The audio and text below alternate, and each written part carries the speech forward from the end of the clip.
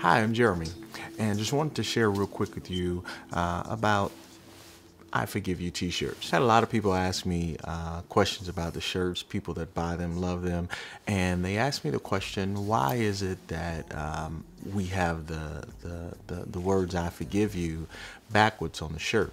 You know how when you when you look in the mirror, your reflection comes back, and when, when you're wearing a shirt and it has the, the, the logo or the words on it the right way, and you look in the mirror and it's backwards, well, um, I figured, okay, uh, what's one of the first things that we do once we get dressed, once we put our clothes on, we go to the mirror. So with I Forgive You, we have the logo on the shirt backwards, so when you look in the mirror, it reads properly and you see I Forgive You.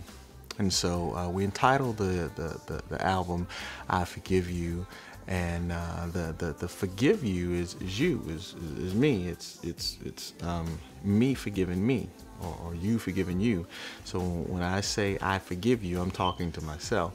And so um, one of the things we did is we put the, the logo on the shirt backwards. So when you wake up and you put on your t-shirt, you look in the mirror and what's one of the first things you are telling yourself? You're telling yourself that I forgive you.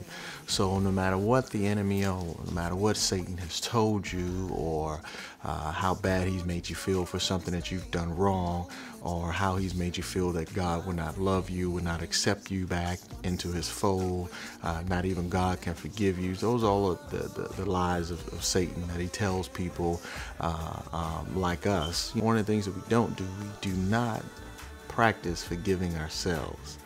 Um, we're one of the last ones to forgive as ourselves for something that we did.